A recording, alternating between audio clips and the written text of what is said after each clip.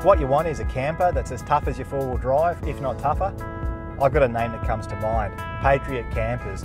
Now these guys are a genuine success story, and with good reason too. Well folks, this is the camper that I've been talking about. It's the Patriot X1 limited edition soft floor. Now, as you see it here, fully set up, it'll take you about 15 to 20 minutes go to whoa. And I reckon, considering the lifestyle that it affords, it's not too bad at all. So this camper has been well revised since last year. Now some of these revisions, they include things like a wider chassis, so that lowers the centre of gravity and it means you can take this camper pretty much anywhere. Patriot's well and truly moved away from rooftop tents with this camper. When you open it up, the soft floor section comes with it, so you don't need to zip it on.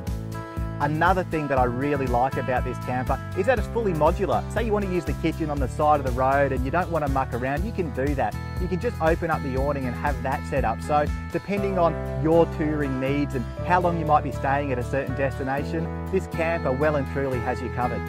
The quality, the fit and finish, top to bottom of the X1 really is second to none. Now that's down to the experience of the guys who build this camper, but it's also the investment, millions of dollars worth of technology and machinery to get the standard that you see here. It's, it's very precise and it's lightweight too. A few other things that I really like about the X1 it's the stainless steel bench tops, mate. It's an aluminium body, hot dip galvanized chassis, all really well put together. It's tough as guts.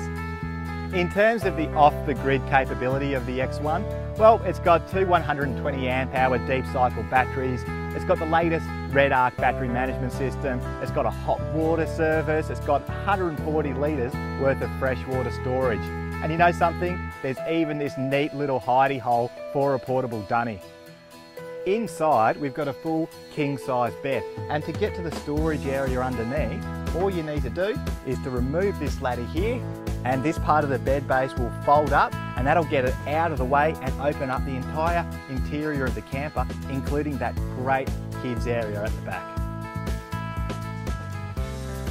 Well folks, there you have it. This is the Patriot X1 limited edition soft floor camper. And what a cracker. There is a lot of camper here it's really well built. Now it even comes in a choice of three colours. You've got the white that you can see here, there's a graphite colour and there's that classic Patriot green.